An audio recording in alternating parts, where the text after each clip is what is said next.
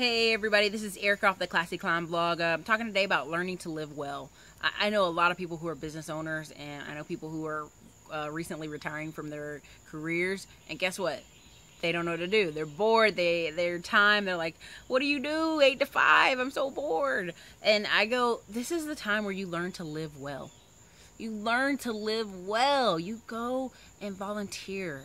At different functions. You go and go to festivals and parks and, and you go walking for hikes and you do day trips because you're retired or because you need a little break in your business. Like, yes, hustle, hustle, hustle. Yes, Gary Vaynerchuk, but yes, Gary, Gary even Gary Vaynerchuk takes a month or a month and a half of deep, deep vacation and spending quality time with his family. Why? Because it's important. That's what living well is. When you got a three and a four and a five and six year old child, you want them to remember you as working hard for sure, but you also want them to remember you living well. And don't be people's parents when they're in their 50s and have no clue what to do because they have not invested in living outside of the kids, outside of the workplace.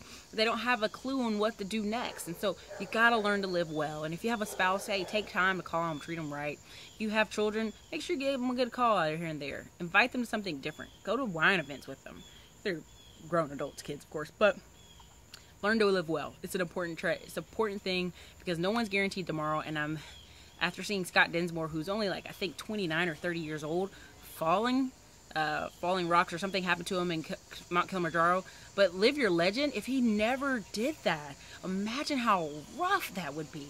Imagine not getting that without of you, right? If that's deep inside you, all these business plans and these ideals, do it. Live well understand like the impact that will be on your family. So, uh, this is Ericka from the Classy Climb blog. Learn to live well, people.